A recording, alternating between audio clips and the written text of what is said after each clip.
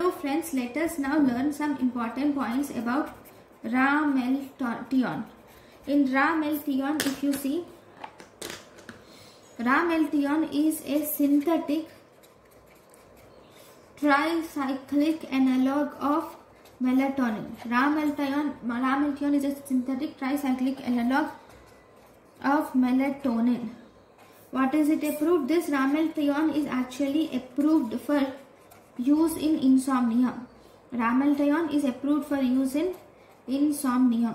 What does this Ramelteon do? This will bind to MT1 receptors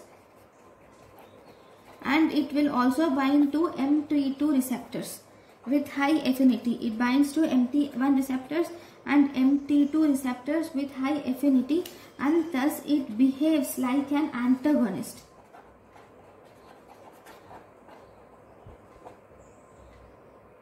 Okay? It does not bind to mt3 receptor.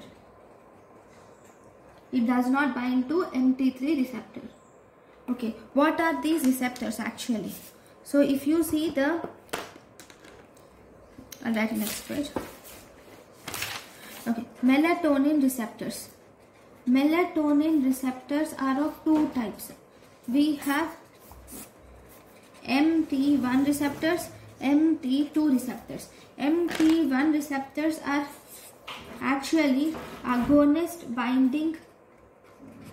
If the agonist binds to this MT1 receptor, it will promote the onset of sleep.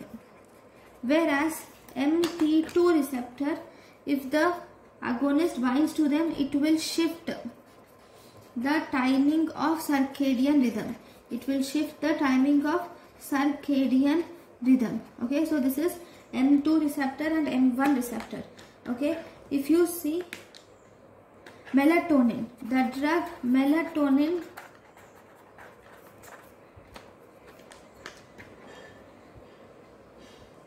has and has affinity to quinone reductase quinone reductase 2 melatonin has affinity to quinone reductase 2 and with this quinone reductase it is